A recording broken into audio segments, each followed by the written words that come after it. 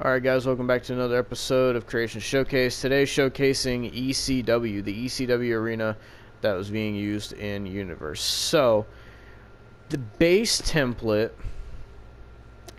was... I don't remember, actually. So, we're just going to go to stage construction. So, is this Titantron. Uh, this, I think, Judgment Day Minitron or Bad Blood, whatever. Uh, then this header and these walls on both sides, like the Great American, the the bash walls, and then this stage. So then for the movie display, this is how you want to have it set up. So the Minitron,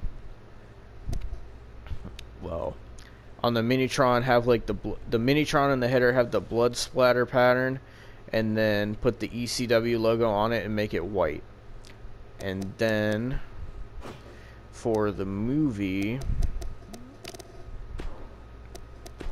it is I don't know. It might be just yeah it's 2k the movie is just 2k17 and yeah that's pretty much the stage.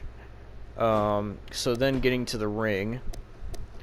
So each apron is just black the blood splatter texture just make the white black and then same thing with the ECW logo slant it a little bit make it white. And then the ring mat is like a faded light blue turquoise color with a black ECW logo in the ring. Then mar uh, dark maroon turnbuckle pads with white ECW logos black ropes um, steel barricade ringside just Regular announce table, blood splatter texture, white ECW logo, as I explained before. Uh, and then electronic billboard, same thing, blood splatter, ECW. Uh, lighting is just default, I guess. And this is the menu image.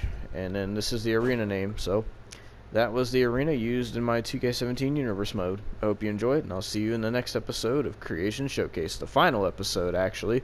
So I'll see you there.